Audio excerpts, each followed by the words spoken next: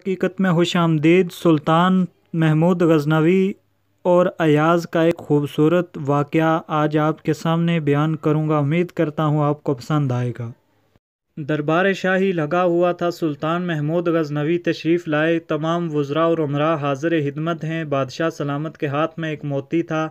उसने वो वज़ीर दरबार को दिखाकर पूछा, इस मोती की क्या कीमत होगी? वज़ीर ने अच्छी तरह देखभाल करके अर्ज़ की हजूर नहायत कीमती चीज़ है। ग़ुलाम किराए में एक मन सोने के बराबर इसकी मालियत होगी।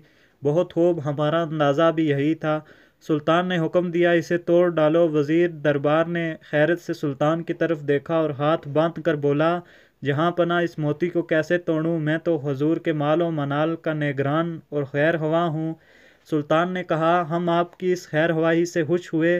थोड़ी देर बाद सुल्तान ने वही मोती नायब वज़ीर को दिया और उसकी कीमत दरियाफ्त की वज़ीर ने अर्ज़ किया, हजूर, आजिज़ हूँ। इसकी कीमत का अंदाज़ा करने से हुक्म दिया अच्छा इसे तोड़ दो। वो अर्ज़ करने लगा किबला आलम, ऐसे बेश बहा कीमती मोती को क्यों तड़वाना चाहते हैं, जिसका सानी मिलना महाल है? ज़रा इसकी आब व ताब और चमक दमक तो मुलायजा फरमाइए। सूरज की रोशनी इसके आगे मांद पड़ जाती है। मैं शाही ख़जाने का निगहबान हूँ और इसे तोड़ने की कैसे ज़रूरत कर सकता हूँ? सुल्तान ने उसकी फेम व फरासत की तारीफ़ फरमाई, फिर चंद लम्हों के बाद वही मोती अमीर उमरा को दिया और कहा, इसे तोड़ डालिए। उसने भी उज़र पेश करके तोड़ने से माजरत कर ली। बादशाह ने सबको इनाम व इकराम दिया और उनकी वफा शारी और अखलास की तारीफ़ की। बादशाह जूँ जूँ दरबारियों की तारीफ़ करके उनका मरतबा बढ़ाता गया तू तो वह उदना दर्जे के कर लोग सिरात मुस्तकीम से भटक कर अंधे कुएँ में गिरते गए। वज़ीर दरबार की देखा देखी अमीरों और वज़ीरों ने ज़ाहिर किया कि वह दौलत शाही के वफादार और निगरान हैं। आजमाइश और इम्तहान के लम्हों में तकलीद करने वाला जलील हवार होता है।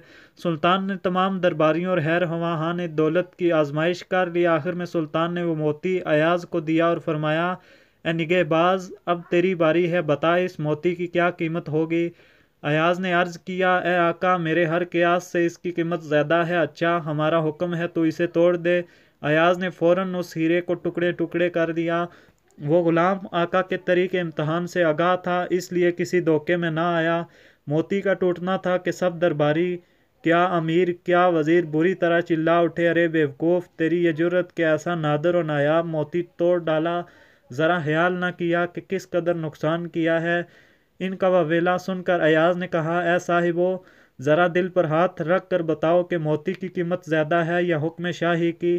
तुम्हारी निगाह में सुल्तानी फरमान ज़्यादा वक़्त रखता है या हकीर मोती तुमने तुमने हीरे को देखा, इसकी कीमत और चमक को देखा, मगर उस हुक्म देने वाले को ना देखा?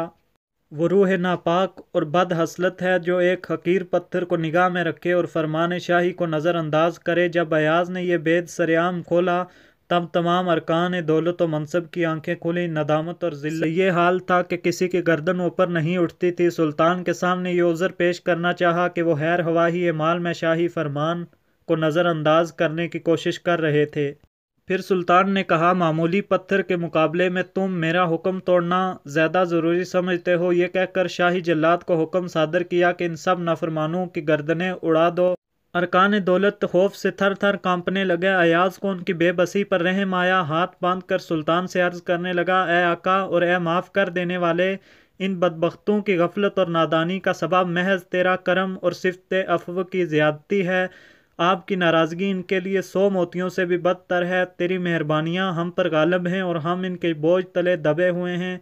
मेरी क्या हैसियत है और क्या हकीकत? मगर इतना अर्ज़ करता हूँ कि इन मुजरमों के सर भी तेरी ही दीवार से लगे हैं।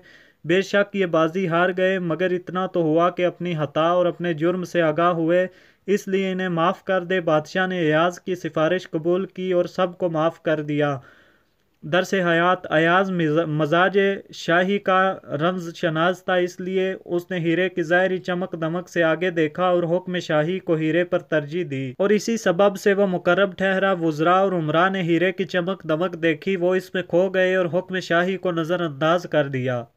इंसान गफलत और गुमराही में पढ़कर सनाए हकीकी, यानी अल्लाह ताला को भूल जाता है, जिसका नतीजा ज़िल्त हवारी के सिवा कुछ हासिल नहीं होता।